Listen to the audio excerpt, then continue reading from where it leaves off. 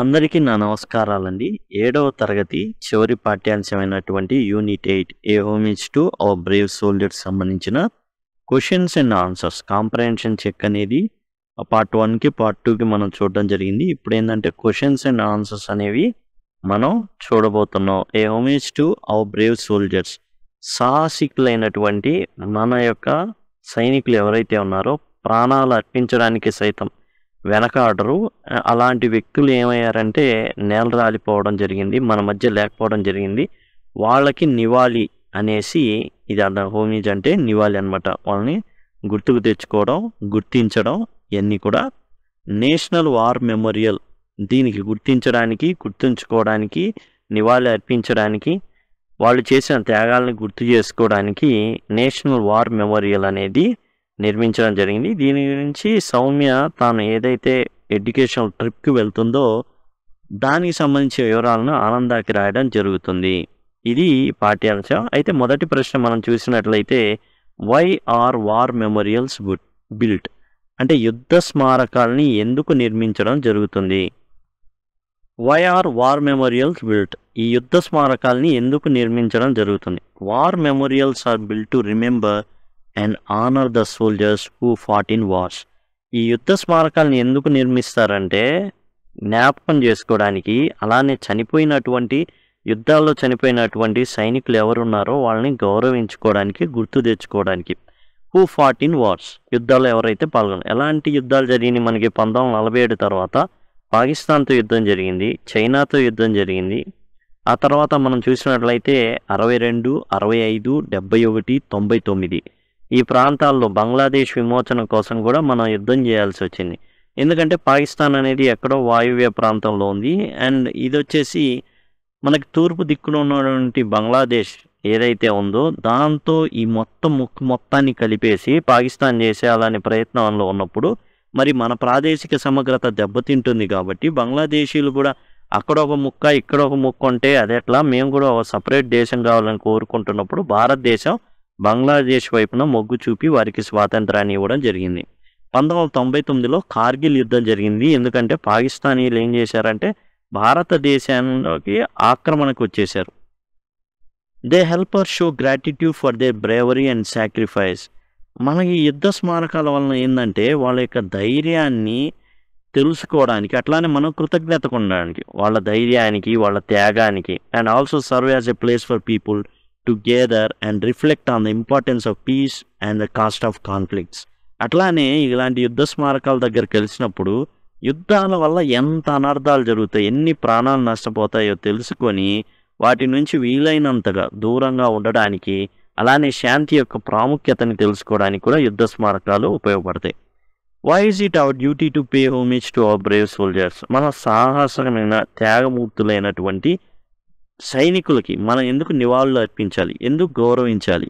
We must pay homage to our brave soldiers because they protectors and our country ఎందుకు నివాళులు అర్పించాలి? ఎందుకు గుర్తుంచుకోవాలి? ఎందుకు వాళ్ళని గౌరవించాలి అంటే వాళ్ళ వల్లే దేశం అనేది కాపాడబడుతుంది.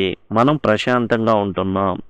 ఎందుకని? వాళ్ళు కనుక అడ్డు లేకపోతే ఎంతోమంది ముష్కరులు ఏం చేస్తారంటే లోపలికి వచ్చేసి బాంబులు పెట్టడం ఇట్లాంటి పనులు చేసి మన యొక్క ప్రాదేశిక సమగ్రతని మన శాంతిని మనశ్శాంతిని అన్నీ పోగొడతారు.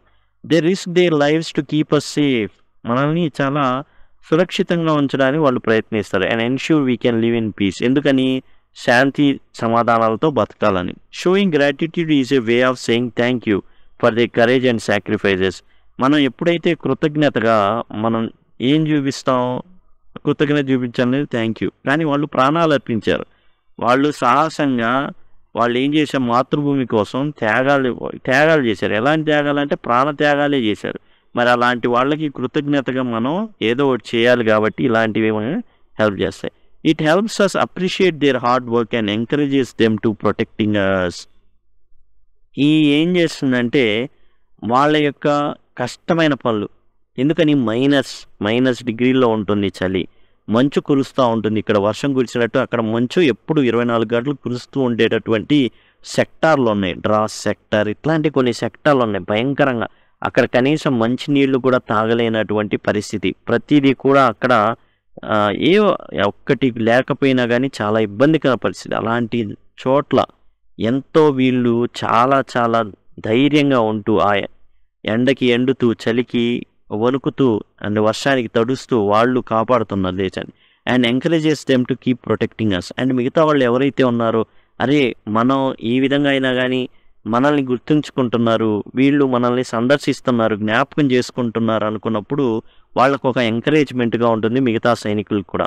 Why's it a good idea to make presentation in front of whole school ఇక్కడ సౌమ్య ఎప్పుడైతే ఎడ్యుకేషన్ టూర్కి వెళ్ళడం ఢిల్లీ అక్కడ విద్యార్థులందరినీ ఒక ఐదు గ్రూపులుగా చేసి ఏదో ఒక వ్యక్తిని మీకు నచ్చినటువంటి దేశభక్తుడిని తీసుకొని మీరు చెప్పాలి అన్న విధానం అనేది ఎందుకు మంచిది అని అడుగుతున్నారు అనమాట making a presentation in the front of whole school is a good idea because it lets us share interesting information or ideas with many people at once ఈ విధంగా స్కూల్లో ప్రజెంటేషన్ ఇవ్వడం వల్ల ఏంటంటే ఎడ్యుకేషనల్ టూర్కి అందరూ వెళ్ళి ఉంటారు. కొంతమంది వెళ్ళి ఉంటారు. మిగతా వాళ్ళకి కూడా ఆ విషయాలు తెలియజెప్పడం వల్ల. ఇంకోటి మనలో ఉద్భవించినటువంటి ఆలోచనల్ని ఇతరులతో పంచుకోవడానికి కూడా బాగుంటుంది. Also it helps others learn something new ఎవరైతే రాలేదో వాళ్ళు కూడా నేర్చుకుంటారు. మన ఆలోచనల వల్ల కొంత కొత్తది వాళ్ళు నేర్చుకోవడం అనేది జరుగుతుంది. And it also builds your confidence ఆత్మస్థైర్యాన్ని పెంచుతుంది. నలుగురు ముందుకెళ్ళి మాట్లాడడం వల్ల. By speaking in front of a friendly audience ఎవరైతే ప్రేక్షకులు ఉంటారో వాళ్ళ ముందు మాట్లాడడం వల్ల మనలో ఉన్న భయాలు పోతాయి. స్టేజ్ ఫియర్ పోతుంది. మనలో చాలా ధైర్యం అనేది పుట్టుకొస్తుంది. Why were the students awestruck and humbled explain in your own words ఎందుకని ఈ విషయాలు విన్న స్టూడెంట్స్ అందరూ కూడా ఒక్కసారిగా ఆశ్చర్యానికి గురయ్యారు. అట్లానే వాళ్ళు వీళ్ళ ముందు చాలా మేము చాలా చాలా చిన్నవాళ్ళం. వీళ్ళ త్యాగాల ముందని ఎందుకు అనిపించింది వాళ్ళకి? ఓన్ వర్డ్స్లో తెలపమన్నారు. Students were awestruck and humble by the story of Paramvir Chakravarthi lance Naik Albert Ekka who lost his life in nineteen seventy one Indo Pak war ఇక్కడ ఏంటంటే వీళ్ళు చేస్తున్న త్యాగాలు మామూలు త్యాగాలు కాదు. పరమ వీర చక్ర అనే అవార్డుని ల్యాన్స్ నాయక్కి ఇవ్వడం జరిగింది. ఈయన యాక్చువల్గా ఎంతో ధైర్య సాహసాలతో ఏదైతే బంకర్లని అక్కడ గ్రెనేడ్లు విసిరి వాళ్ళని చంపి ఆటోమేటిక్గా గన్స్ని ఆపేసి ఆ స్థావరాలని దక్కించుకోవడం అనేది సామాన్యమైన విషయం కాదు. ఇలాంటి ఆశ్చర్యకరమైన విషయాలు చెప్పేటప్పుడు జనరల్గా నోరెళ్ళ పెడతారు ఎందుకంటే కాల్పులు జరుపుతున్నా కానీ మొక్కని ధైర్యంతో తూటాలు పొడుచుకుంటా వెళ్తున్న దేహాన్ని ముందుకు వెళ్ళిపోతూ సాగిపోతూ వాళ్ళు ఎంతగానో ధైర్యంతో తన వెనకున్న వాళ్ళని కాపాడుకుంటూ ముందుకు వెళ్ళడం అనేది ఖచ్చితంగా అందరికీ ఆశ్చర్యాన్ని కలిగించే విషయం. లాన్స్ నాయక్ ఆల్బర్ట్కి వీర చక్ర పరమవీర చక్ర అనేది ఇవ్వడం జరిగింది పంతొమ్మిది వందల డెబ్బై ఒకటి ఇండో పాక్ వార్ సందర్భంలో. ఆ యుద్ధంలో ఆయన చనిపోవడం జరిగింది. ఓ స్థావరాన్ని అటాక్ చేసే క్రమంలో తాను ఏం చేశాడంటే అసూలు బాశారు తాను చాలామందిని కాపాడాడు. అంతేకాదు శత్రువుల్ని కూడా తొదముట్టించాడు కాబట్టి అంటే చంపేశాడు కాబట్టి ఈయనకి పరమవీర చక్ర అవార్డు అనేది ఇవ్వడం జరిగింది. అయితే తనకైన గాయాల వలన చనిపోవడం కూడా జరిగింది lance Naik Albert. Complete the table given below. You may have to find the information on the internet. ఇక్కడ కొన్ని యుద్ధాలు ఇవ్వడం జరిగిందండి. ఇండో చైనా యుద్ధం కానివ్వండి ఇండో పాకిస్తాన్ యుద్ధం కానివ్వండి కార్గిల్ యుద్ధం కానీ డేట్లు అడిగారు. అందులో ఎవరైతే సోల్జర్స్ చనిపోయారో దానికి రిలేటెడ్ ఆ యుద్ధాల్లో పేరు తెచ్చుకున్నారో వాళ్ళవి రాయమన్నారు ఇంటర్నెట్ చూసి. నేమ్స్ ఆఫ్ వార్స్ యుద్ధం చూసేట్లే ఇండో చైనా వార్. అంటే ఇండియా చైనాకి మధ్య పంతొమ్మిది అరవై రెండులో యుద్ధం జరగడం జరిగింది. ఈ ఇండో చైనా యుద్ధానికి సంబంధించిన సైనికులు ఎవరైతే ఆ యుద్ధంలో ప్రతిభ చూపించారో ప్రాణాలు కోల్పోయారో వాళ్ళు అనమాట జస్వత్ సింగ్ రావత్ మేజర్ ధన్ సింగ్ థాపా సుబేదార్ జోగిందర్ సింగ్. తర్వాత ఇండియాకి పాకిస్తాన్ మధ్య యుద్ధం జరిగింది పంతొమ్మిది వందల అరవై ఐదులో.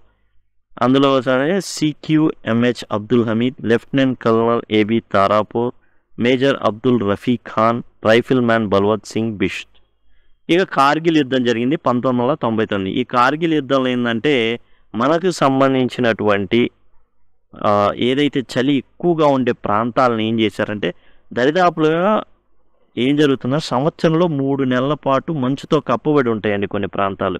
ఆ ప్రాంతాలను ఏం చేశారంటే వీళ్ళు ఆక్రమించేశారు. ఆక్రమించేసి వాళ్ళ జెండాలు పాతేసి మొత్తం మందు పాత్రలు కానీ అలాంటివి పెట్టేసి వీళ్ళు ఏం చేశారంటే వాళ్ళ కంట్రోల్లోకి తెచ్చుకోవాలని చూశారు. అయితే కొంతమంది గొర్రెలను మేపుకునే వాళ్ళు కొండలు ఎక్కినప్పుడు ఆ విషయాన్ని చూసి ఏం చేశారంటే వాళ్ళు ఆర్మీకి ఇండియన్ ఆర్మీకి తెలియజేశారు. ఇట్లా ఈ చలికాలంలో వీళ్ళు ఈ ప్రాంతాలను ఆక్రమించారు.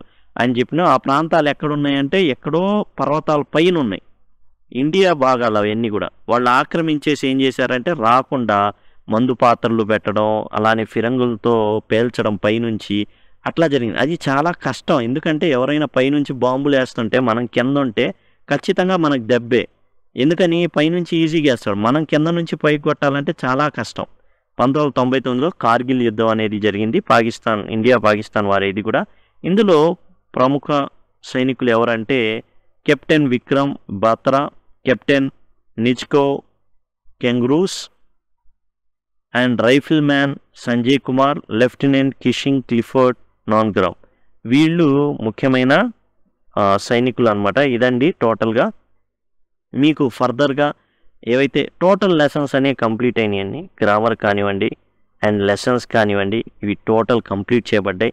వీటికి సంబంధించిన ప్లేలిస్ట్ కావాలంటే సింపుల్గా మీరు లిస్ట్ అని లింక్ యాక్చువల్ లింక్ అని సింపుల్గా మీరు కనుక అడిగినట్లయితే లింక్ అని కామెంట్ సెక్షన్లో అడిగారనుకోండి అండ్ ఖచ్చితంగా దీనికి సంబంధించిన ప్లేలిస్ట్ అనేది నేను మీకు ప్రొవైడ్ చేయడం జరుగుతుంది.